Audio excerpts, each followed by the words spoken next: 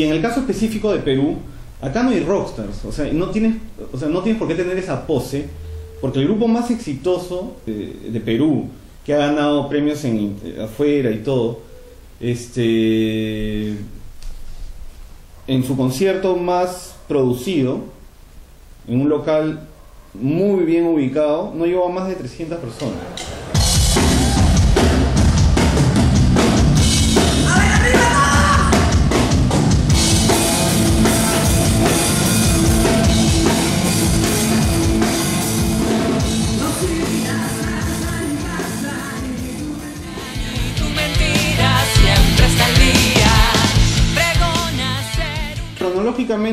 Regres- en el 2004 finales nos retiramos porque nació nuestro primer hijo, Juan Diego.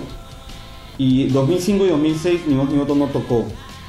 En el 2007 regresamos a tocar y a través de, de- desde el 2007 hasta el 2011 eh, eh, y mediados del 2012 en realidad eh, las tocadas eran no teníamos interés pero si nos llamaban y, y las condiciones se daban tocábamos.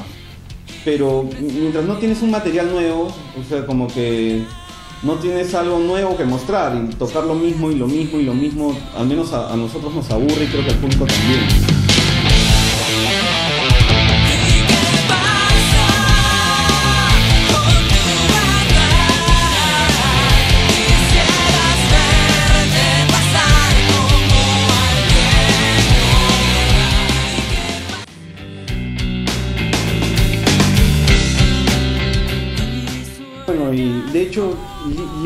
sea, en cuanto a las letras, es, es un poco más sensible, no, no tan agresivo en, al- en algunas canciones.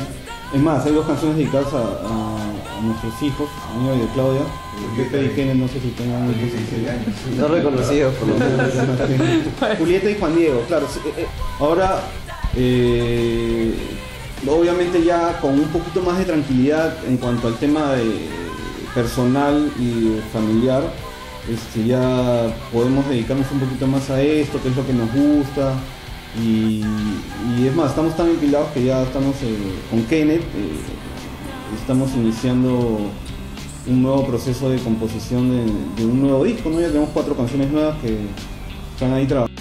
Yo creo que la- las canciones de, del Rockstar Rebelión van más por la onda de, de las canciones limbo, soñadores y soberbios, que son de alguna forma mm, las tres canciones más importantes de, de el disco Limbo. Eh, Es una continuación musicalmente de, esas canciones y, del disco en general. Creo que no es muy parecido musicalmente a los dos primeros discos, aunque en realidad Los Minutos siempre ha tenido su lado bien melódico, inclusive en el primer disco tenemos una canción acústica.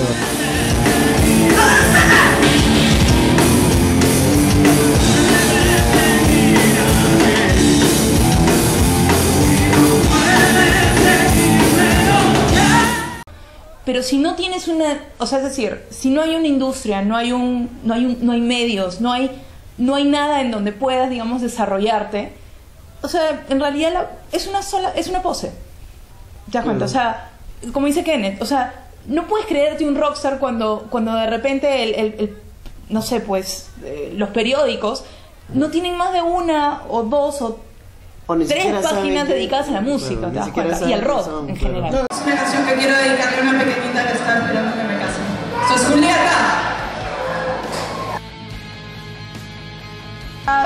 las letras es mía, en el caso de siete años, que, que- que un poco lo hice pensando en, en- en Juan Diego, nuestro hijo mayor.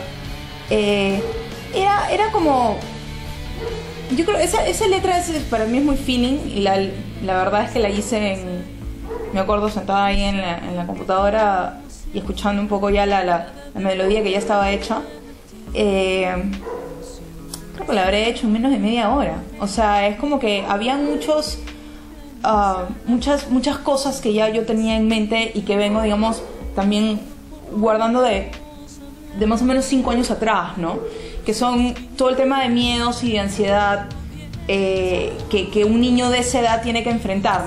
Esa, esa etapa de, él y, todo lo que nosotros como padres también hemos, eh, digamos, tenido que no sufrir con él, sino ayudarlo a sobrellevar, es un poco lo que, lo que plasma en la, la canción, ¿no? O sea, ahí es algo que, como que yo tenía muy, muy guardado ahí, que la verdad no fue muy difícil ponerlo en palabras. Y bueno, y, y la de Julieta, que es mi, mi letra, digamos, una canción dedicada a mi hija, que ahorita tiene tres años, es, eh, como yo soy una persona muy vehemente y muy ansiosa también, este, es, es proyectarme a qué va a pasar en el futuro y cómo los conflictos que vamos a tener. Porque si te das cuenta, si, te das cuenta, o sea, tanto la letra de, Ju- de, de siete años y la de Julieta igual siempre hablan de conflictos. Entonces no, no es que sean letras eh, de, de armonía o la paz familiar o digamos qué lindo es mi bebé arru- arrucucú, ¿no? O sea, arrucucú, no, no, es este es fuerte, tener hijos es fuerte, no, no, no es, Sin sentimiento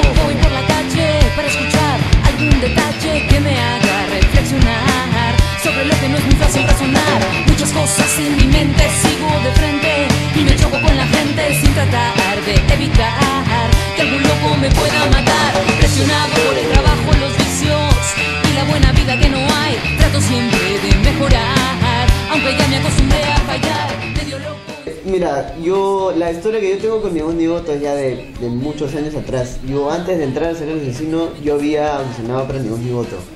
Solo que entró este Gonzalo Alfaro, que muy, muy, muy buen bajista, él, él mucho más bueno. Y él se fue eh, a, a Argentina y es por eso que se quedan sin bajista. 2003 hasta que Walter me llama en abril o marzo del 2012.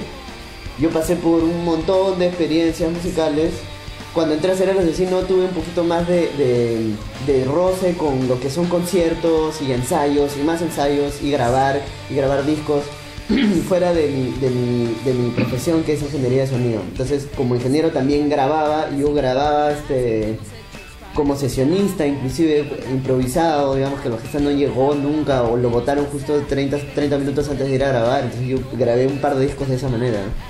Entonces todas esas experiencias hicieron que para cuando yo llegue a ningún voto yo ya tenga toda una, una experiencia un poco mayor a cuando audicioné por allá en el 2003. En mi mente sigo de frente y me choco con la gente sin poder salir. no, no, no va por el, el tema del público. Y te lo digo porque eh, sí creo, y ahora que Kenneth está con nosotros, Kenneth es un pata que tiene un, un background un poquito más eh, fuerte. Fuerte, ¿no? Entonces, eh, posiblemente un nuevo disco en Ni Voz Ni Voto no va a salir al, al, al Rockstar Rebelión. Vaya a salir más parecido a Non Social o algunas canciones del Limbo. Es un tema de influencias en el momento también, ¿no? O sea, porque siendo músicos, o sea, como dice Walter, no, no puedes escuchar la misma música siempre. O sea, creo que en, en diferentes etapas de tu vida como que vas escuchando otras cosas y, y- y yo creo que depende mucho también de la música que te va nutriendo para lo que tú vas sacando, ¿no? O sea, tienes que nutrirte para tú sacar, o sea, porque la música no tampoco es que surja de la nada, ¿no? Como ni como- voz ni voto, no, creo que al menos eh, mi idea, y creo que ellos la comparten, es no limitarnos a hacer un grupo que va a sonar siempre al primer disco o al segundo. O sea, de alguna forma, yo y hablando vocalmente, eh, ojo que también estamos hablando de una característica, en, en nuestro caso, de que si bien de repente el primero, el segundo disco pudo tener canciones un poco más, eh, digamos, agresivas o, violentas, eh, ¿cómo se llama musicalmente? La melodía de la voz o la línea vocal, en mi caso, o sea, no varía, o sea, no es que sea, digamos, demasiado variable. ¿ah? O sea, yo toda la vida, digamos, he tenido el rasgo de cantar melódicamente, porque, o sea, yo sí siento, ¿no? O sea, cuando a una canción le falta melodía, a mí parece que, que está faltando algo. No me acuerdo. Somos Claro, nosotros. son todos Somos nosotros de. ¿eh? Es que ju- justamente el concepto de la niñez en el, en el caso Roxa Rebelió y toda la parte gráfica de la- del, del disco es este es eso. Finalmente el Rockstar eh, o sea, es, es- es tan berrinchudo a veces o se porta de forma tan berrinchuda que parece un niño. Sí, sí. O sea, la, la idea conceptual de poner de los niños y de las fotos de nosotros de niños y todo eso es como, sí, eh, la, la idea es Rockstar Rebelión, pero no quiere decir que las demás canciones como que se sumen a eso. O sea, las otras canciones no- en realidad temáticamente no tendrían nada que ver. y viene más todavía con vinculados con el tema del Limbo. sí. El video ya viene.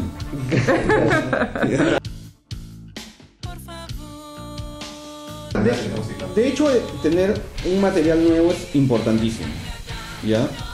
Porque ahora el mundo quiere cosas nuevas o, o está acostumbrado a consumir muy rápido todo, ¿no? Y es más, a, a desechar Y mucho, y muy claro, rápido rápido lo que no debería ser desechable inclusive, ¿no? O sea, eh, pero así es el mundo ahora, entonces, de hecho, un- eh, la imagen audiovisual o un- igual video, o sea, o videos, digamos, es algo importante y es algo que lo- nosotros no hemos tenido mucha eh, fuerza en los últimos años, pero ahora sí eh, vamos a regresar con todo, eh, con videos.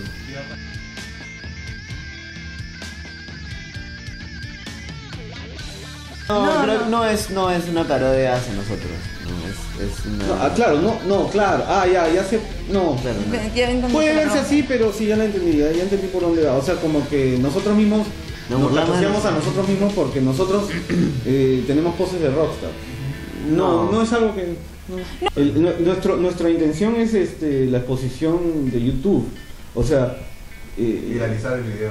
Claro. claro, o sea... Sí, que esté en YouTube y que la gente pueda acceder cuando le dé la gana verlo, ¿no? O sea, y mientras más se comparta, mejor porque le, Mira, digamos, es que le llega el, más el gente. tema es que ahora más importante es tener un video que un disco.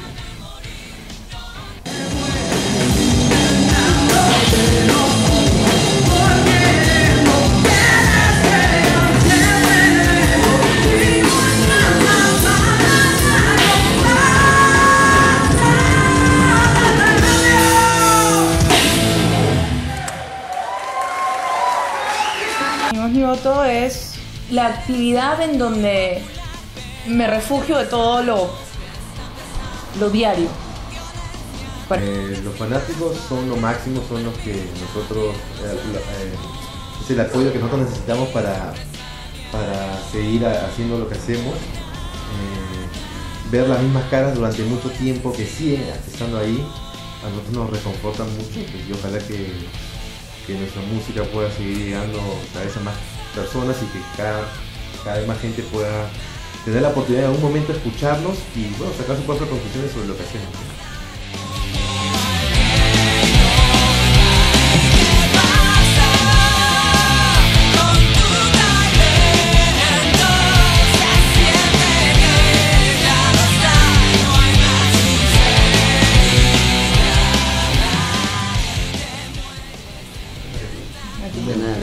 Pedir un vino y conversar. Puta, qué difícil tu entrevista.